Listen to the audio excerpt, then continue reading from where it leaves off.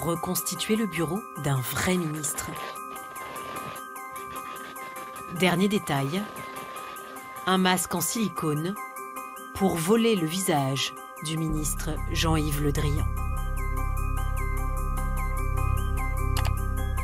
L'escroc a besoin de faire illusion au moins quelques dizaines de secondes, le temps d'une apparition vidéo.